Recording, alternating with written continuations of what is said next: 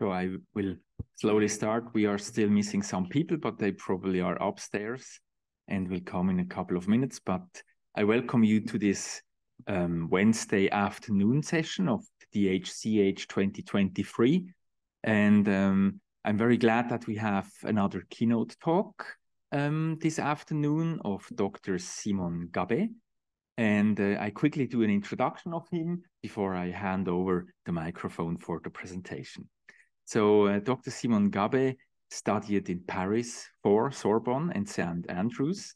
Um, Simon Gabay left to write his doctoral thesis in Latin um, philology, philology um, at the University of Amsterdam on the history of the actor in the uh, in the Middle Ages. For his postdoctorate, he focused his research on computational philology as part of an SNSF project on the manuscripts of Madame de Sevigne, um, at the University of Neuchâtel, where he teaches digital humanities. In 2020, in 2020, he joined um, the chair of uh, Béatrice Joyeux-Prunel. You remember she was also a keynote speaker at the first DHCH in 2021 um, at the University of Geneva as a senior lecturer, where he directs two projects. Actually, a um, Dictiones, a corporate tool for the study of classical French, then Katabase, a database for manuscripts in uh, circulation of the private market. And his, his main areas of research are modern French philology, his, uh, the history of philology, classical literature, automatic language processing, and optical character recognition.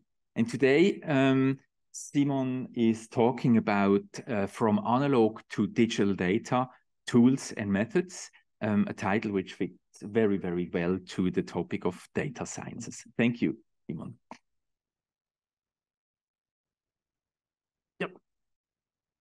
Um, hi to everyone. I mean, at least those that have not uh, met until now, and those could be online, just like signing a little mm-hmm. clock so that I know where I am in the presentation. So here to present like from analog to digital data, tools and methods. Obviously, I'll be focusing on things that I do and that I know the, the best. And um, this is what I do on a daily basis. When I study data with literature, it's the kind of visualization that I try to get. Here it's a study of the evolution of tragedy over time. So you can see on the left side of the graph, it's 1550, and at the end, it's 1800, how it has evolved. Basically, what we have done is that we have computed a centroid, sort of average play that does not exist, with all the linguistic features of the plays average. And we have seen how far all the plays are from this abstract average of what is a tragedy.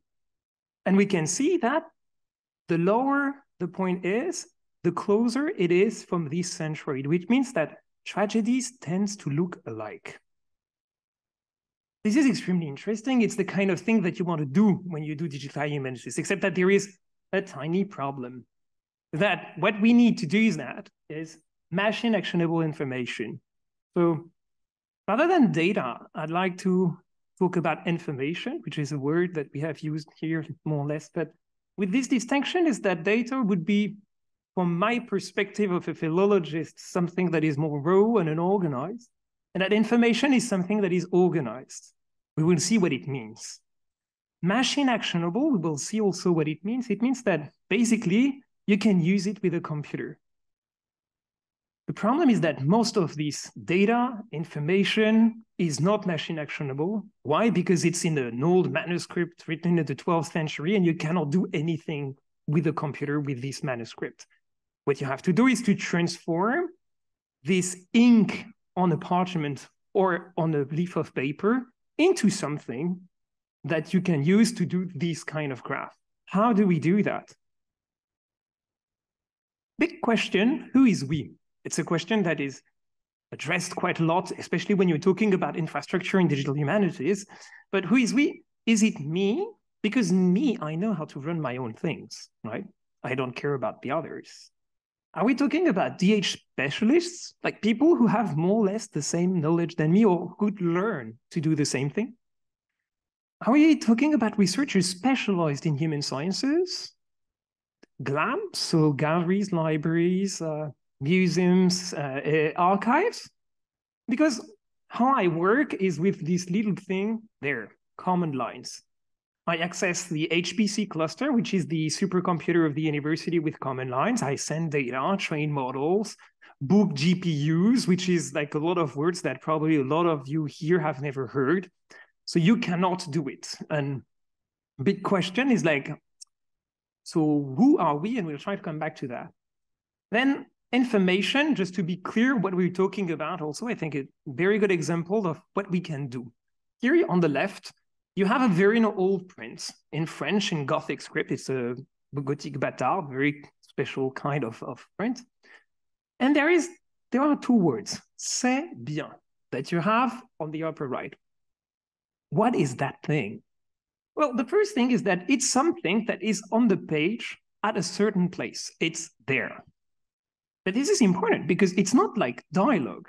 Dialogue is in big on the top. And obviously, there is a different status if you are on the top written in capital letters, or if you just like a bunch of words on a line that is average.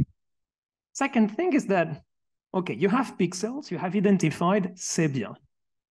How do you transcribe that thing? What is the information that is in it? Well, here first you see that there is a long S that is not a normal S, something that has disappeared from many languages you see that it's not spelled properly. Aujourd'hui or today, you would write it S A I S. So, do you modernize or not? Do you keep it or not? Bien, there is an abbreviation. Do you keep the abbreviation or not? But you can even go further because so there is a normalized version. There are several variants of writing of the same spelling that you could find in the book or in all the texts. You could also lemmatize it, which means, to be very brief, to attach a word to its entry in a dictionary. So when it's conjugated, you don't care. It's always être, to be. And it could be I am, you are, you don't care. It's the lemma. Or you could be POS-tag, which means if it's a verb, if it is a noun, if it is an article, if this verb is conjugated, if its verb, this verb is conjugated at a certain mode, certain tense, certain person, etc., etc. And then you start understanding that everything is extremely complicated. That this OCR is extremely powerful. It has helped us doing many, many things. But the further you go back into the past, the more problems you have. You get stuff, but well, you need to choose what do you do with this information. OCR then is extremely important but it's not enough. So when you talk about digital humanities, when you need the text and not the paratext, page number, etc.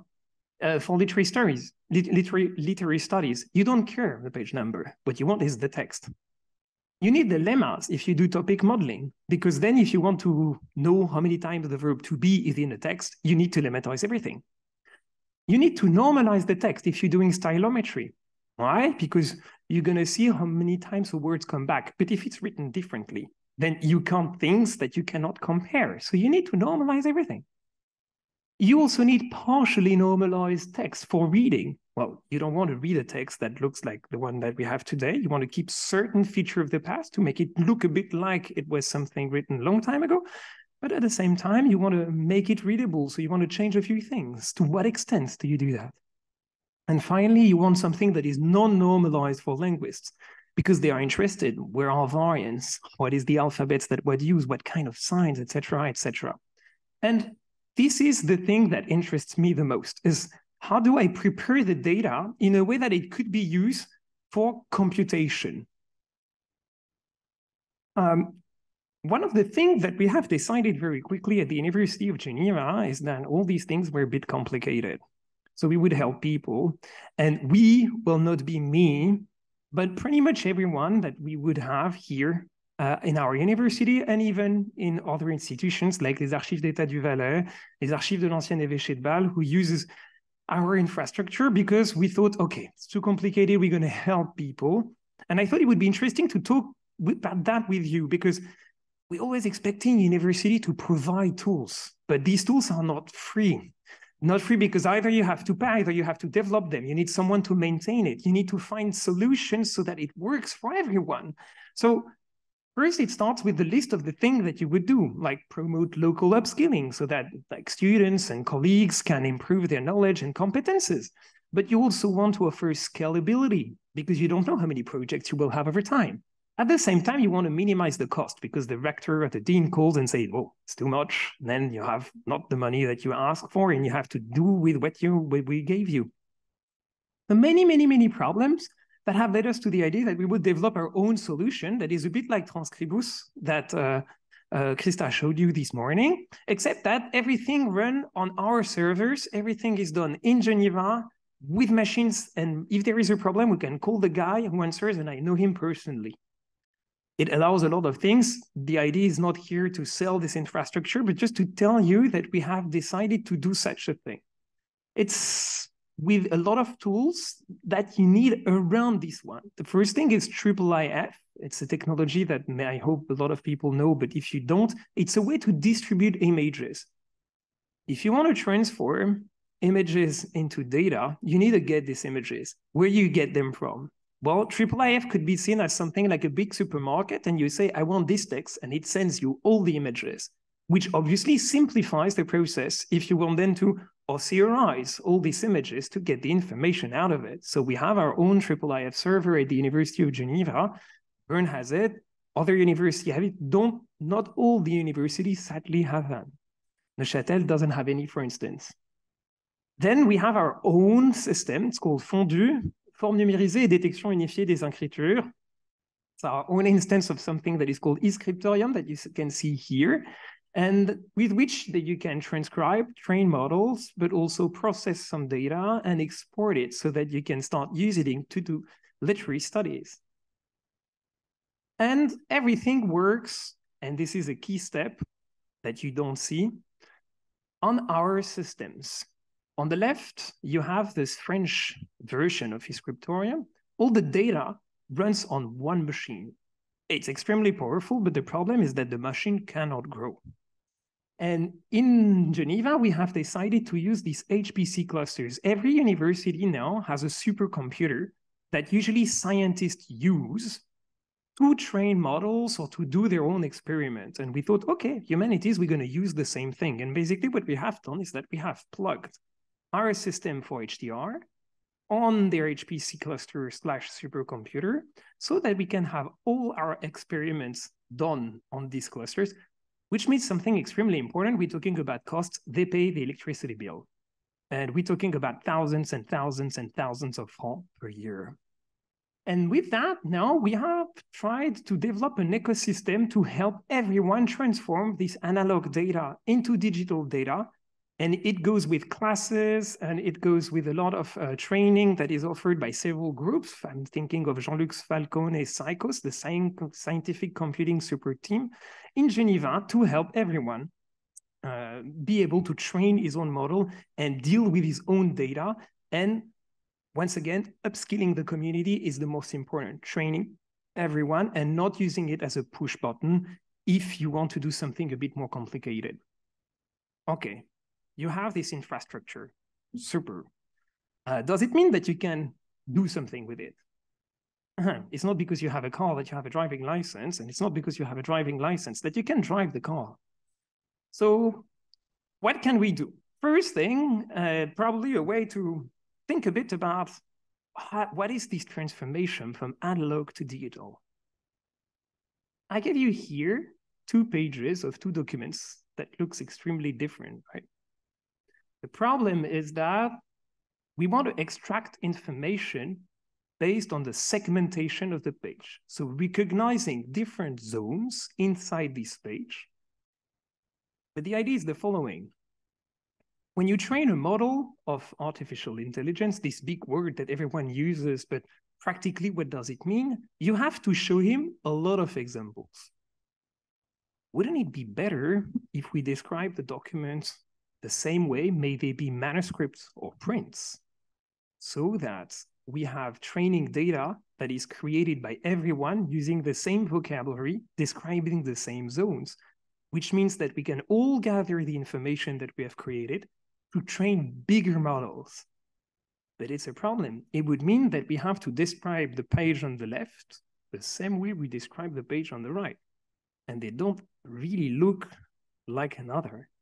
You have two columns, you have an illumination, you have something that is handwritten later by a librarian. There is the page of the, the number of the folio and not the page. On the right, you have completely different structure with a chapter, etc., etc., etc.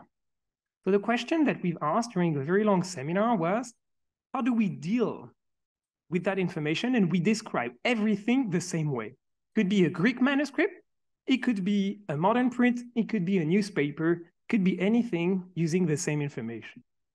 So we have decided to divide the page into big zones, around 10, so that we will describe all the documents and we could share the data and the way it is transformed afterwards. I'll come back to that.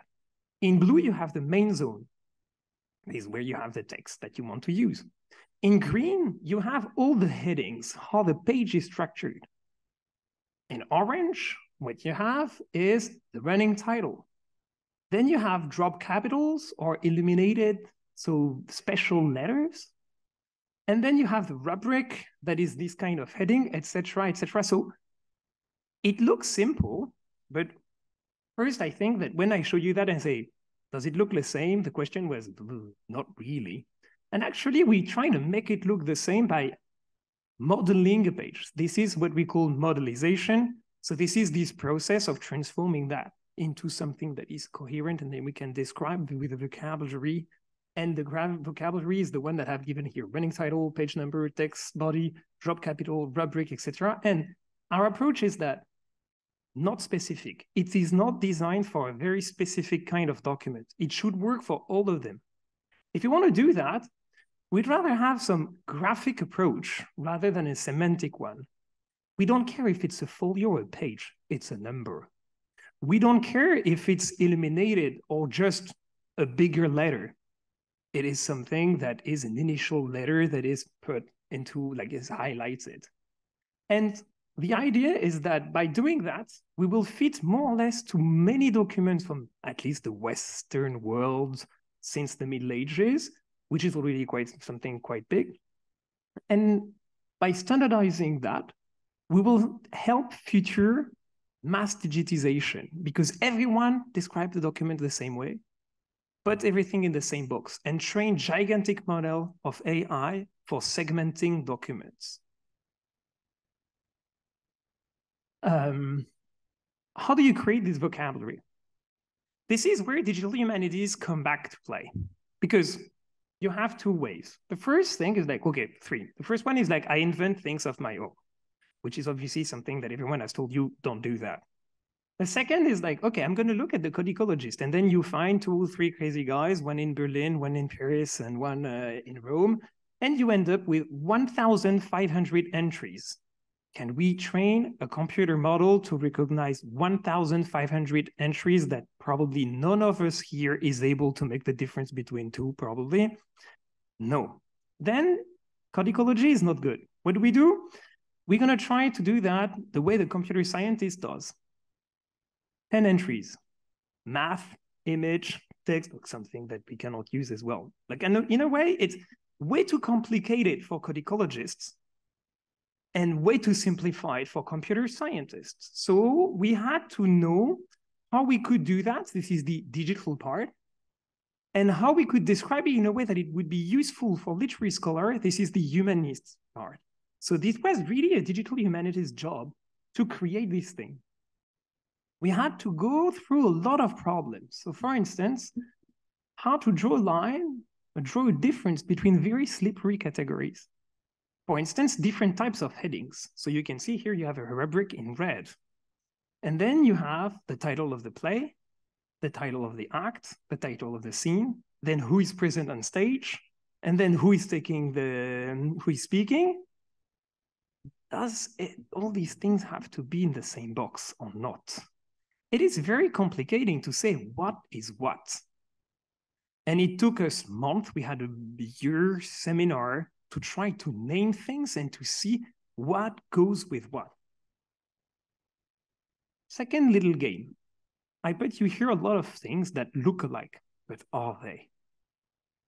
You have a headpiece, you have a drop capital, you have a tailpiece, and you have an engraving. Do you think that these things are the same things or not? I mean, clearly you have an illustration. Then you have ornamentation. Then you have some kind of ornamented texts. So is everything something graphic and we don't care? Or do we start to make differences between graphic stuff that means something, like the engraving, graphic stuff that doesn't mean anything, like the headpiece and the tailpiece, and graphic stuff that doesn't mean anything but has text, which is a different kind of information that we would need to process to retrieve the information that is inside. Basically, we can design anything, but we had to find a way. So we have ended up with this list of zones. The idea is the following. It has to be meaningful in terms of codicology, describing the page, but at the same time, it must not be too much because otherwise the computer will have too many categories and it will have problems to recognize the different zones on the page. You cannot ask him to make differences between things that looks alike, except if you have tons of data that we will not, not have before a very, very long time. So we ended up with zones and lines, and we try to promote this idea that everyone would describe the document the same way, then we can put everything in the same pot to train bigger models the same way we do it for character recognition. We also have private areas because we had to think of people who have a problem we did not think of. Basically, you can put everything you want inside that place. So if you have a catalog in which you have entries, of course, I mean, we did not think that you would have entries, and then you can make the difference between the entries of a catalog and the entries of a phone book and the entry of an exhibition catalog, which is not the same thing that a sale catalog, etc., etc. So you have something you can do and you can put everything you want inside, custom zones. And the last thing that we've done is a syntax. Well, we have these types that I've just shown here, but you can add more information. So this is a margin text, but it is a footnote. You can add a subtype so that the idea is that everyone names things the same way in the world, but at the same time, you have the possibility with a subtype to describe most precisely what you need. So there is some kind of points that we share in common, and we can share the data with still having the flexibility that we need to describe our own stuff. And finally, a number, why? Well, you can have several footnotes. You could also have several columns. So you could imagine main zone, column, a column, and hashtag one for the first column, two for the second column, etc., etc. And it's been a very, very long process. It seems obvious when you see it at the end, but to be able to describe this thing, because the first way you can transfer analog stuff into digital stuff by naming things, because by naming them, you can retrieve them properly. And when you have retrieved them properly, then you can process them. Now, let's say that we have recognized the zones on the page. Well, we have to read the characters, but little game. How do you transcribe this thing? Obviously, the problem is the first letter. Do you keep the long S or not? Well, it depends what you want to do. First thing is that if you want to do things on your own or not, or if you want to look at what the colleagues do. The second thing is that are you a linguist or are you a literary guy? Because if you're studying literature, you don't care about these long S. If you're a linguist, you're like, uh, uh, that is important because this is the history of the spelling. So this is not that easy. Second game, how do you transcribe this letter? It is fairly simple. It's the letter A.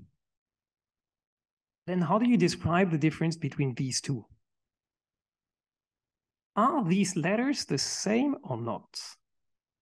Well, once again, it really depends. You could say that it is the same or it is not.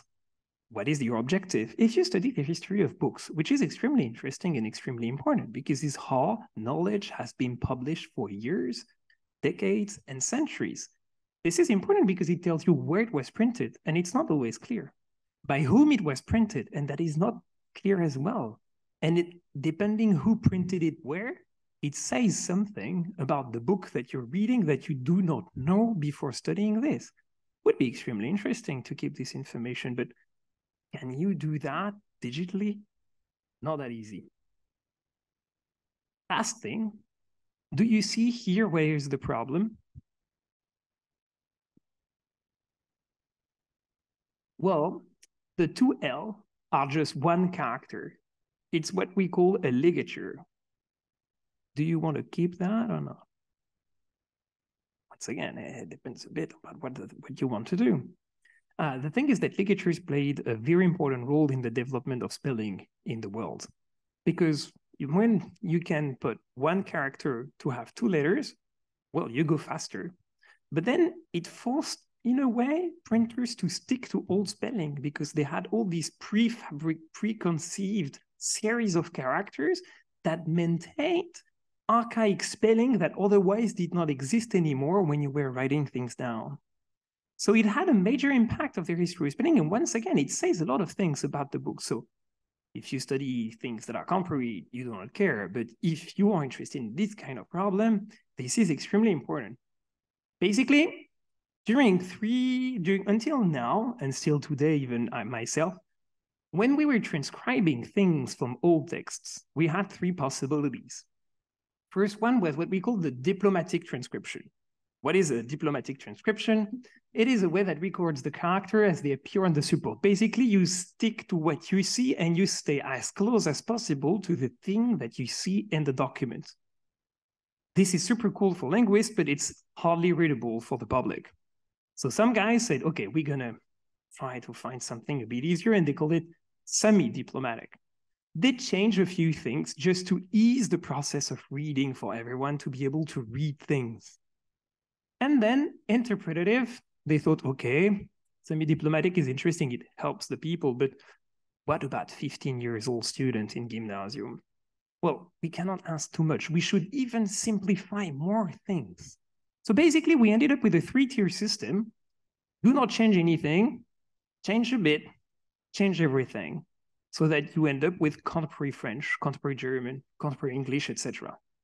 What is interesting is that in the last few years, we have seen that computational sciences and digital humanities have changed the way we see things, and we have shifted from a three-tier system to a four-tier system. First one that we could never have thought of is what we call graphic.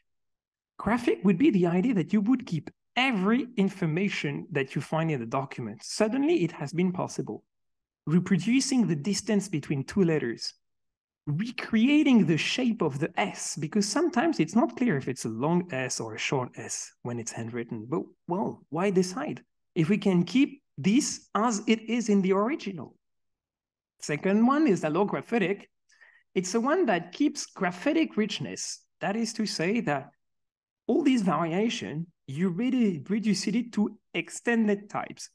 You do not simplify too much, but you keep a lot of information, but you simplify just enough so that it's easy to put in the machine because you realize that the first version you would need years to put everything in the machine and measure all the space and the shape of the S, etc. Maybe it will come one day, but we're not there yet. These two things describe the image. Basically, they want to retain information that is not linguistic, but how it is shaped on the page. And it's opposed to another level that describe the text. The first is graphemic. Basically, you transcribe things, but you align everything to the uh, alphabets that we have now. And regularized, well, it's the transcription that is fully aligned to the spelling that we have today. So you have no trace that it was written 400 years ago, for instance.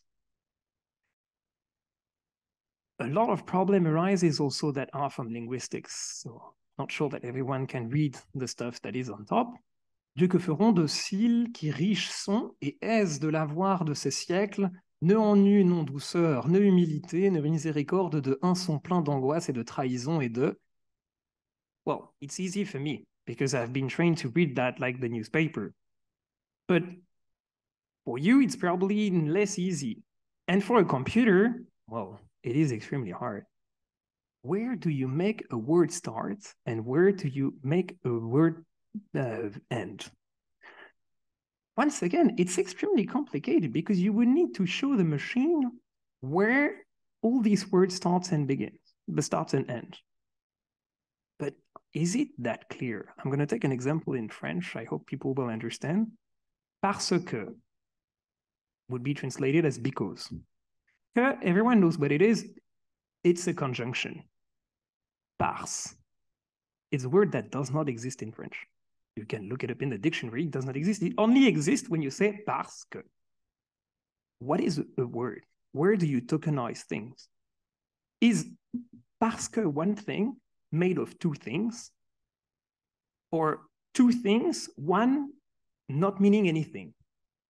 Then you start thinking again about, okay, what is the language that we're studying?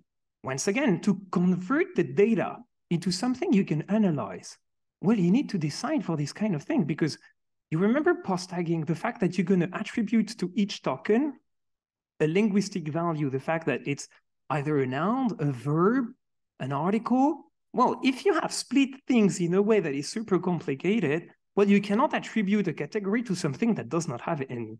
Bars does not mean anything.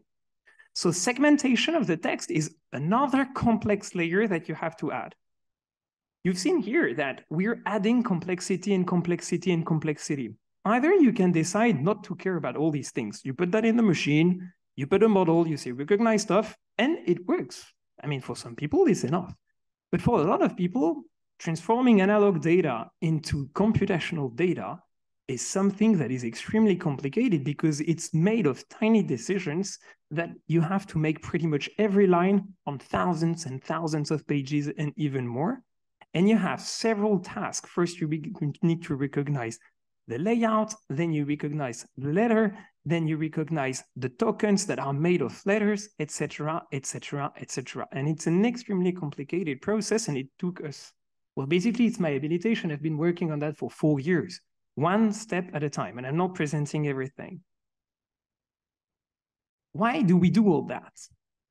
Well, once again, as I've said, OCR is not enough we need to go a bit further, try to understand things that we would not understand. And for that, well, we don't need only the text. And we have already seen that seeing what is on the page is extremely complicated because you would only always end up by caricaturing in a way what is in the text. Another problem is that you have the problem of formats. Ha. Data come in two formats, even texts, it's in Unicode. Which Unicode? And sometimes you have non-Unicode characters, basically letters that do not exist. It's the case for medieval documents, for instance. So here you have alto on top, and then you have TEI uh, at the bottom. They look like the same, but they are not. One of them is a standard for computer vision, the one on top. One of them is a standard for literature, the one at the bottom. Well, you need to transform things, but one is not designed to receive all the data of the other. Otherwise, it would be too easy. So basically, you have a cube and a cylinder, and you have to make one enter the second, and it's not designed for it. And you keep bumping into these kind of problems. So you have to invent solution. And TEI, which is a community in which I've been involved for a very, very long time, is changing very, very, very slowly. So you cannot convince them to add something that do not exist. Adding a little thing would take you two to three years and convincing dozens of people to add this little thing. So it's extremely complicated again. But at the end, we have slowly found a way to transform information. And then we start to have information. Why first is it information? Because we got stuff from the page but it's structured in something that the machine can compute and use and manipulate. And it has the data in a standardized format. if you study TEI, I don't know if, during your studies if you had look at what this thing is. Basically, it's an XML language. It's the way it's written here. It's the thing with the brackets everywhere and the quotation marks. And we have designed a way to store all the information from the OCR engine in Alto into TEI in a separate element.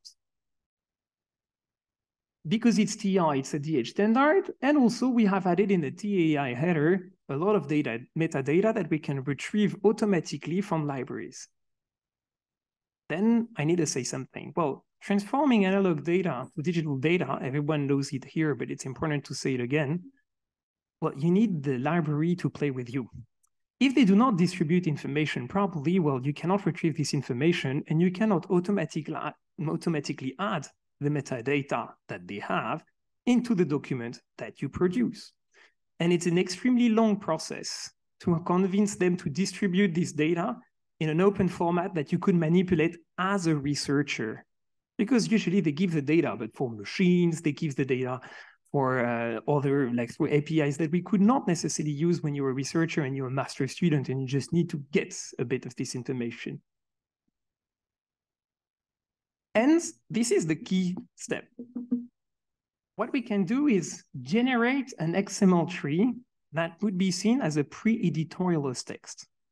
So you have to think that the idea is from the image, the digital facsimile, to produce something that is as close as possible to an edition completely automatically for thousands of documents. You press play and you have a system that download the images, transform them via huge models that need to be able to handle any kind of possible documents that you would have in French, recognize when it, what is in it, get the text, transform it, add the metadata, and pre-edit the text. Only with a little YAML here, it's just a little document that say it's Simon working for the University of Geneva because it's me. All the rest is automatic. You can get the IIIF, so the images, you can get the metadata via SRU, search retrieve via URL, if it is a service that is provided by libraries, which usually is the case. And with the three things that you have on the left, you can build all the metadata and prepare the transformation. Then you get an alto, and you can have the source doc in which you store all the information coming from the image. But because we have encoded things with SegmOnto, which is this vocabulary to describe the page, I can transform that into TEI automatically because I know where running titles are, where page numbers are, where notes are, where images are, which means that I can automatically encode everything into TEI and pre-editorialize the document to build a digital library automatically. I say pre-editorialize and not editorialize because I don't think that the machine can create a critical edition not even an edition. It can create a transcription that is more or less enriched. An edition would be something else. I know that there is a debate now among scholars is could it be seen that when you choose models, you're doing a critical act, and then you could say that it's a critical edition. I disagree with that. Critical edition is reading things and understanding what's in that. But this is a debate that exists, and I let you decide what you this what is your position in this debate but so the idea is to create automatically a lot a lot of information so that we can study things and then you end up with this thing that is a pre-editorialized version well not easy to see but when you do a bit of TEI you recognize here that well if there is a page then there is the header you can put the title in it then there is the page number you can store the page number in that graphic zone, if there is images, you can stock them into TEI as well. Then the main zone where you had a line, another line, another line, another line. And then the quire marks, if you need to say, well, this book ends here and starts here, information that is on the page, usually in every old prints. You have reconstructed automatically the structure of the page into an encoded format via the standards that I have presented. With that, that is extremely interesting again, because you start getting data and more data and more data and more data. And you end up building a corpus. So we have designed FreEMmax, French early modern max, because it's the maximum corpus that we could get, where there is a first distribution here. And well, with that, you can study what's inside. You can see if things have changed. And we could start thinking of kind of uh, empty the holes. So more 16th century, a bit less of the 17th century. You've seen that I'm more interested into that than in other centuries. Well, with time, we will correct that. And the idea is that the more you have text, the more you can put them in a machine and then create a language model. Maybe you have heard of this BERT language model that use transformers. Well, if you give the machine tons and tons and tons of text, the machine starts to understand what this text means in a way. So for instance, we can see here that king and queen and man and woman have the same orientation and the same distance because they have seen that in the text, well, they behave the same way. You can find man and queen at the same place that you could find woman and king, for instance. It finds patterns in the language that helps for all the tasks in NLP. If you remember what I've said at the beginning, well, we have not even reached the beginning of our study. We've just extracted raw text and we know where it is. And this text, we have more or less control the way it is transcribed. But we need to do linguistic normalization, transform it into contemporary French to help readers, lemmatize it so that we can do this topic modeling that we need, POS tagging if we need to study the syntax, named entity recognition if we want to, like Nicolas, provide a map of everything that would be in a text. The interesting thing is that all these tasks need that thing. So the more you produce data, the more you increase the quality of your results. So then you can create more data that is useful, and it starts becoming a virtual, like um, a virtuous loop because the more you have data, the better the language model is, the more precise it is, the faster it is to annotate more data, retrain the model, then you have a bigger corpus that is even more precise than before, and you accelerate. The first problem, the biggest problem is to create the first loop, but then it keeps revolving together alone. And now we can already see that all our models are becoming better and better and better with time, and they we can provide better data, faster, more layers of annotation that is even more precise each time we make a tour, uh, a tour of the circle. And at the end now, on top of the text that was our output uh, from the OCR, we can have this table. Uh, humble salut et reconnaissance, which is the beginning of a letter. We can say what is the lemma. We can say that what is the part of speech. We can see what is the normalized version for everything inside the texts with accuracies that are above 98 for each task, and it's only the beginning. With the end, what we have designed here is this pipeline. You have the digital facsimile and the metadata. You go through text extraction, analyzing the layout, getting the OCR. You have the alto files, that is this computer vision format, transform it into TEI, and then you pass it into the text annotator all the NLP tasks that adds the text that has been extracted.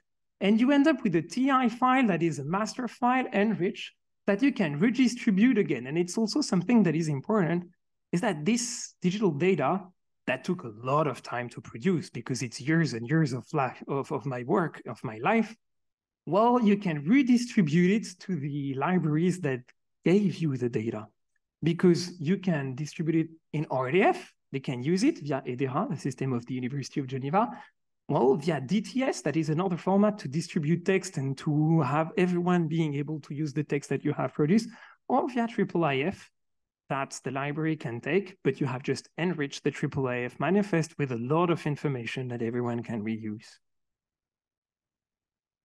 The idea is that we will share more and more information for two reasons. Train model upstream but also downstream create all these processes so that if we all share them, well, one person develops something for everything. If we have the same segmentation of the layout of the page, well, we have the same category. So if my script work to extract data from a page, it will work for everyone using the same description of the page. This is the virtuous circle, producing data, training a model, adding additional data, predicting new data that you can correct, and you keep making a loop for each model that you produce. This is the pipeline, the circle, the way it is to train artificial intelligence model. And at the end, producing all the data I've been talking about, you can finally do this curve. So now you see that this curve that seems pretty simple, just like a bunch of text, we needed to go through all these very, very, very long process to be able to produce it. But now that it exists, we can produce all the curves that you want. And I think that now we have a pipeline that is efficient for historical French, not for historical Italian, not for historical Spanish. So I'm working with these colleagues to help them develop as well their own pipeline because the problem is that everything is very language dependent. So the problem is that it's really up to scholars to address the problem, but if no one does it, it will never change. And that would be a bit my conclusion here is that first, this transformation is not that straightforward. It takes a lot of time, takes years, takes a lot of thinking, and you really need to be a humanist to be able to deal with this kind of data.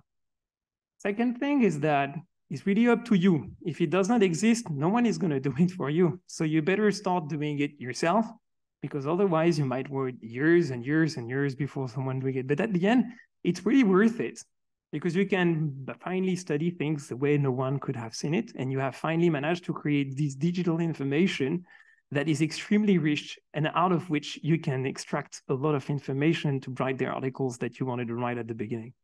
Thank you very much. And if there is any question, I will be more than happy. 44 minutes. That's okay. Mm -hmm.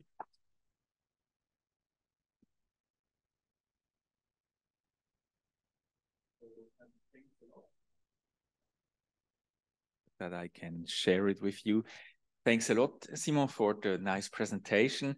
And I would like to open the room for questions. Um, is there something you would like to comment, ask, or get in, in a discussion with Simon? Yes. Thank you very much. Interesting. You showed the first page, yeah? and there you had this example of c'est bien. Mm -hmm. And there must be a linguist or somebody who knows the words before and the words after to identify that this sound c'est bien mm -hmm. is tu sais bien ou c'est bien dans le mm-hmm. sens mm -hmm. c'est apostrophe. Mm -hmm. Ça peut être le même son en fait. Mm-hmm. And so uh, there is needed uh, a first knowledge that can change everything when there is a mistake done. Mm-hmm. And I think these are thousands of examples there. And there you need a lot of knowledge of the abbreviations uh, mm-hmm. about uh, above the, the E there. And how can you avoid these mistakes that creep in? Because after that seems like a, a machine of a lot of procedures. And when this first step is not correct, mm-hmm. no, How no. do you cope with that? no, no, no. It's it's it's a it's a very interesting um, problem. First one is that colleagues that are medievalists have decided that okay, data it was noisy because it comes from a manuscript. It's disgusting. The author does a lot of mistakes. So they did a bit what have shown. It's like process it, process it, process it. But each time you have two or three percent mistake. So 2%, plus 2%, plus 2%, plus 2%. And at the end, you have accumulated a lot of noise and all the processes that they had added to clean the data ended up having as much noise as at the beginning. It was just different noise. So this is a very big problem because the the earlier it arrives, the more it impacts all the other layers because you're accumulating layers. They are one after the other. Um, another interesting thing is that um, how do you correct that? I was working with uh, real NLP guys, you know, like uh, people who like they live with the machine, they sleep with the machine, they take the shower with the machine, and they say, "Yeah, Simon, you know, with these transformers and everything, we can do everything." It's like, I, I'm pretty sure I'll show you that not. Um, usually when you want to train a named entity recognizer, the Lausannois did it. I think they had uh, 150,000 tokens. So they show 150,000 examples to the machine. And they discovered that it does not work very well. Yeah, it's not a lot. So what I've said is like, okay, I'm going to do it the philological way. I'm not going to annotate 150,000. I'm going to annotate 4,500,000 manually on four columns, which I did. And I beat the machine because they could add anything to improve the results. Well, they could not because there were so many examples that it was working. And I think it's an interesting answer. I did it in three months. So it's extremely boring. Uh, you, well, just put a podcast and you annotate data day and night, 15 hours a day. But at the end, you can try to do anything, it works. And a way to avoid problems in human sciences and digital humanities usually is very simple. Annotate example, provide example, and it will work. Then you always have complicated case and you will tell me that no but this is the basic of artificial intelligence. I mean you show him examples and it's like anyone. If you show him enough example at the end it would work. Not because it's artificial intelligence just because it has enough example and i think it's the best way to avoid any problem and at the end i don't think it's that costly i mean three months to create a data set for 16th century French in named entity recognition now, we are better than those specialized in contemporary English. It just needed three months of work. That's okay. But for some reason, no one wants to do it. And then there is also something that is interesting between people who comes from the computer science world and from the humanities in that for them, the game is to do as good as possible with as less data. But what they want to achieve is an efficient system. Me, I don't care. Efficient is 99.99. If it's below that, it's not efficient. So I annotate more data. And I think that it's very interesting because it, it shows, at least in my experience, that we have a very different way to tackle the problem, but also it's a danger. We don't see this the, the same problem in the same data. And that when you're doing digital humanities, you really have to pay attention to the fact that you're the humanist and that you have a different goal than all these computer guys who tell you that they know what they do and actually not that much. Oh, yes, they know what they do in their discipline, but not in mine. And so that is my solution. Annotate, annotate, annotate, annotate, annotate. At the end, it will understand.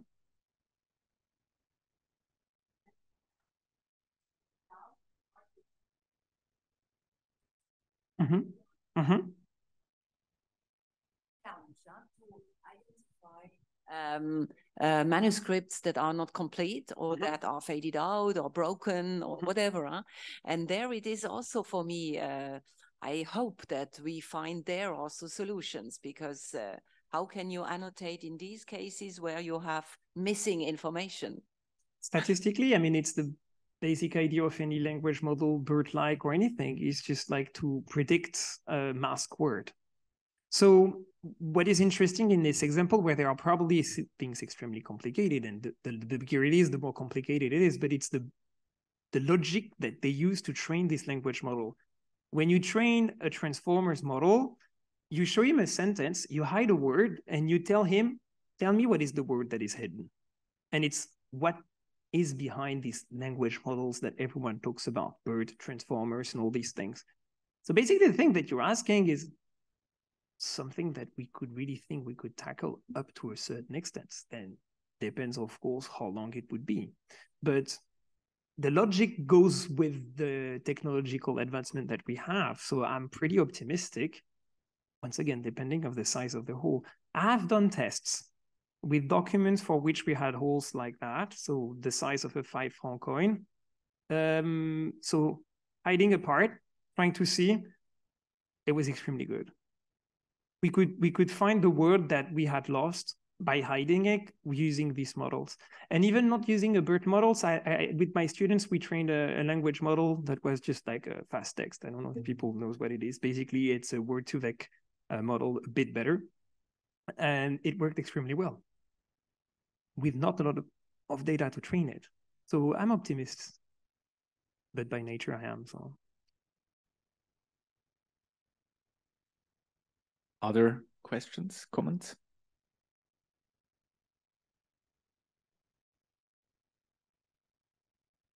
Thank you very much.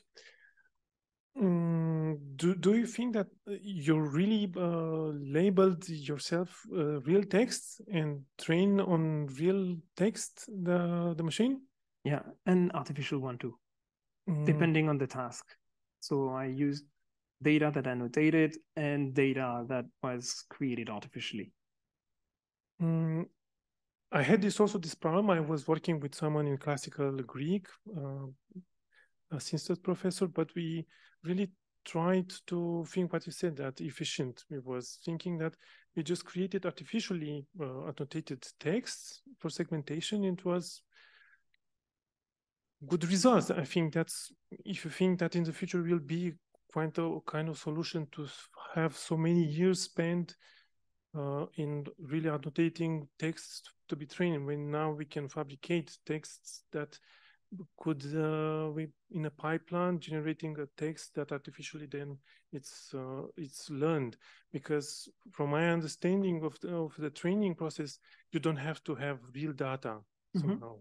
Even you have to have some ages em- emphasized mm-hmm. but you can in fact make synthetic texts and that can be generated and learned. Yeah. What do you think? Uh, many things the first thing is that the, once again, I think that here there is a question of uh, of what uh, a computer science guy and what is a philologist. Um, by when I annotate my corpus, I know my corpus because I have seen every token that it's in it. And when I see a problem, because I have, even if it's extremely fast, I have seen what's inside. I took the time. I took weeks. I'm like, I know where it comes from and I know where is the problem in the data. You can for sure add artificial data and it will work. The problem is not that it doesn't work. The problem is that when it does not work, how do you understand where the problems comes from? And I have seen many times problems, and it was only my knowledge of the, the training corpus that helped me correct the thing. Doesn't mean that I'm against artificial data. I would even go further uh, I think that artificial data should not be used only to train models, but we could study artificial stuff.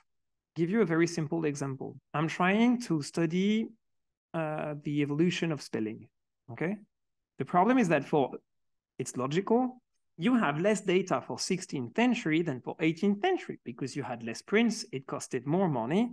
So you have, by definition, an artificial, uh, uh an imbalanced corpus. A, a lot of data at the end, not a lot of data at the beginning, okay? Well, what we have done is that we have modernized everything. And then we have denormalized per decade every sentence, which means that we basically have transformed everything into contemporary French. And then we ask the computer, create an artificial sentence of 1790, 1780, 1770, 1750, 1740, which means that we have the exact amounts, uh, same amount of data per decade, the exact content. And then when you want to study the evolution of process, well, you're not biased anymore. And so I think that artificial data is useless from a certain perspective, which is the one that is used right now, which is just like create data to have the system to work better. Because I think it's important to create your corpus. But I think that artificial data is also extremely interesting for much more the things that I think are much more interesting. That is to correct the imperfection of reality in a way, to create this artificial data that we could that we could use. And for instance, I'm thinking of everyone that is studying corpora, evolution of metaphors, of things like that. Well, you can create a perfectly balanced corpus over time strictly comparable without sampling issues. For, for those who know downsampling and uh, sampling, a way to correct problems that you would have in the data, well, you don't even have. Everything is strictly comparable. So for that, artificial data, I think, is extremely important, and they they are already starting more or less to do these kind of things. So I'm not technophobe, but at the same time, still a traditional philologist. Yes, of course. I'm just working on inscriptions, but first millennium BC. So this is really different. You have different situation. You have so few data in comparison. Mm -hmm. But uh, for a case where you have a sentence, you understand the sentence, but there is a word uh, that you never met before. Mm-hmm. And you need now a pattern, etymology doesn't help. And uh, you just, yeah, you are you are trapped because you understand the words before i have done this and then comes the house and the the table and you don't know there mm-hmm. is something missing this is one problem the other problem is you have a word and two letters are faded out and you know these were three letters uh, and the last letter you have you can read it's mm-hmm. an s for example mm-hmm. uh, can these kind of system that you use also help for these difficulties that you have a kind of a database starting from the last letter going back in this context with a word before and uh, a subject this is the other thing yeah. No um, uh, so answer would be uh, once again yes and no. Uh, peut-être uh, as the, the Normands say. Um, knowing this in, in the sense that, and I, am I'm far from being the best specialist, probably even people here are better than me online, but this artificial intelligence works with lots, lots, lots of data, and it's a problem for languages that are under resourced. Uh, and when you don't have a lot of example, you, at some point you reach a point where, well, it could still work, but you know But uh, so I don't know the language on which you're working. I'm not even i don't no i don't know anything. So i'm not going to try to explain your case but i'm going to go back to the things that i know. And um, what we have seen is that working a lot on language can really help uh, for another one. So up to a certain extent when you don't have enough data for something and you have a lot of data for another thing well you can use these big set of data and a tiny bit of your own so that it helps for your own problem. Uh, basically the HTR and the segmentation models that we've trained for historical french they are not reliable in the sense that it, it, it, they have not been tested for Italian, for Spanish, for German, but I use them on a daily basis on these languages. So, and there is a lot of techniques like transfer, etc., and a lot of work until now. From what I've understood, it has not meet the expectation. I mean, like that we had in them, but all these phenomena of transfer. So the computers knows how language works, so you can use this knowledge with another language to me, conceptually, there is no reason it should not work at some point. Because I mean, when you want to say something, you want to say something, and if it if you want to say some here, here, and there, well, it should help up to a certain extent. And the problem is the up to a certain extent for another thing. So then it's complicated and it depends of the amount of data that you have. But like, for instance, colleagues working on Alsacien, even though they don't have a lot of text, it works extremely well by just having data in German and French, and mm. it goes extremely fast. So, ah, Christa. yes and no, because when I see my colleague in contemporary studies, they have much more. Uh, but I, I, believe that Georges Duby was right. It's like uh, Middle Ages, Renaissance. It, it's enough to be more or less sure of what you say and enough to dream a bit. So it's it's the perfect balance. I do not have a question, but I just wanted to say the last bit, what you said about what we take out of our experience um, and our knowledge we put together after a certain time. I mean, the text I'm working with, I can also not always understand what they say, and I can always not always read what they say. But as yeah, as linguists especially you are aware of, of of some changes that that are frequent and that's why you get the knowledge. And so the means we have today with recognition and what you showed is extremely helpful. And thank you so much for pointing out that normalization is not everything because every time texts are normalized i cry because i cannot do anything again with them right? It's no. just lost. And I think that's uh, I feel sometimes like we have to to actually point towards this problem that that we have as linguists that normalization is a nice thing because it simplifies many things but it's also terribly sad if you do that because you lose a lot of knowledge. Yeah uh, okay. I will temper the optimism that i've, I've just uh, said i had.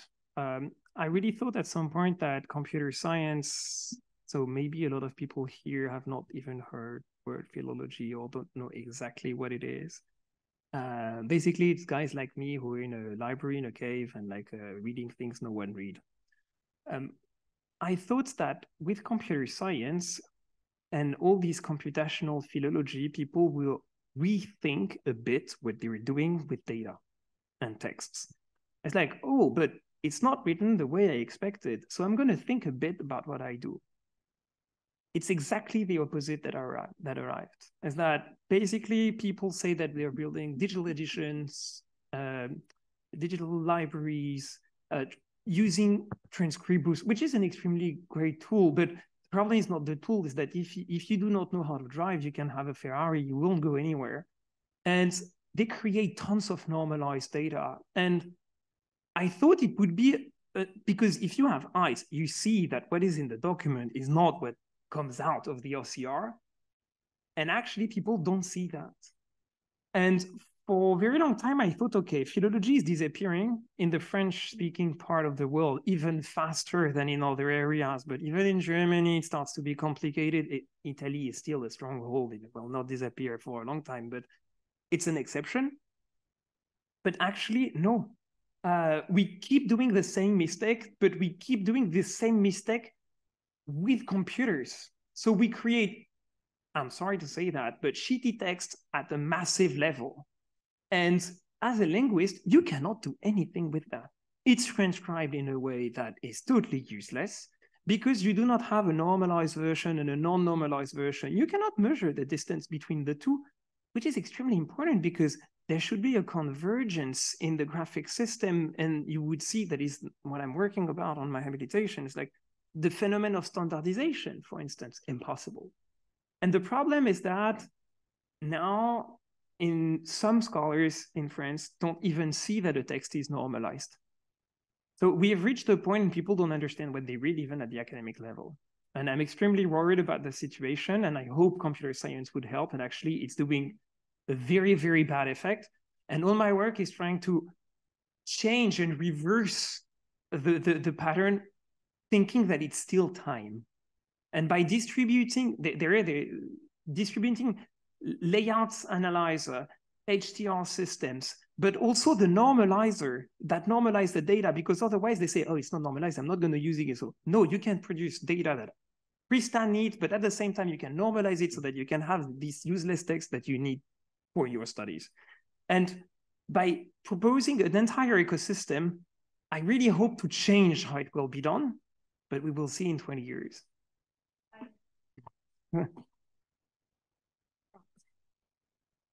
okay, I have more of a conceptual question. So do you think um, the, let's say, modern um, language models from the big tech could um, give some added value to this kind of um, general language model, or would you not mix those two? Uh, complicated, but basically, yes. I mean, the language model that I've called D'Alembert is trained. There is a pun because, like BERT models, everyone that makes a, a, a BERT model calls its model with BERT inside. So the French have done Camembert. Uh, not sure we pronounce Camembert or Camembert.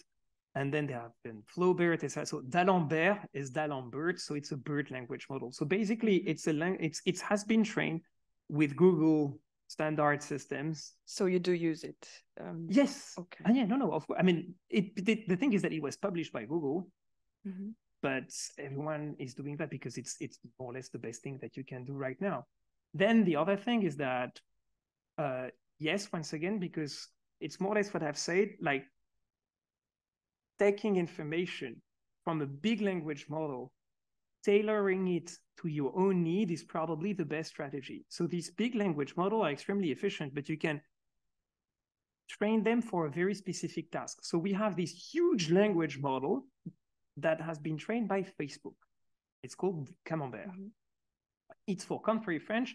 It has seen texts that have been written between 2010 and today. Nothing before. It doesn't know the 20th century because it takes data that is on the web.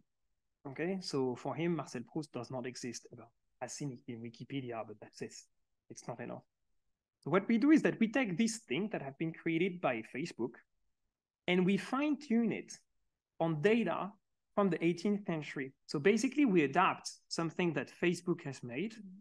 We show him new data and say, correct yourself a bit to adapt. And because he has seen something that is about around 320 gigabytes of text, it's so big that they cannot even count the words that are in it. It's massive. It's the biggest amount of French data that has ever been gathered. More or less the same for German, it's a bit less for Italian. Uh, but it's like this kind of size. Well, these models are useful because then D'Alembert is a mix. It's some it's a model that learned to speak contemporary French. To him, we have showed a lot of historical French. At the end, it works. So yes, we are totally dependent. I mean, we could we could even go further. All these stuff that I've shown here like a third of the library, the Python libraries that I've used are paid by the GAFA or a bit more. I mean, like big, big, big companies. Uh, they are, I mean, like Torch, TensorFlow, and all these things. They, they, they are maintained by, by Google, by Facebook, and things like that. Flair, the last NLP library, I don't Zalando, I think, uh, is the one that paid for it. So it's not only the data, it's pro probably the entire system. And I think it's an interesting question because like in, in we're always fighting to have these open source, this freedom, etc., which is an important thing. But at the end, I train it on the Mac, um, which is, uh, I mean, like, and okay, I could use Linux. It would be Lenovo. It would be not made in the US, but made in China. Does it change something? I mean, I don't really know what to think about that because like we we we really think that we leaving this world of the GAFA and these big tech companies, and actually we are not at all. We are going even more in that, except that we're using things that are more or less open source. And at the end, we use hardware that is not open source. Thank you. Thank you very much. So thanks again, Simon, um, for the presentation. It was really very interesting. And thank you for being so active in the discussion. And before we now make a break, I would like to thank you that you were here. And uh, thank you for the invitation.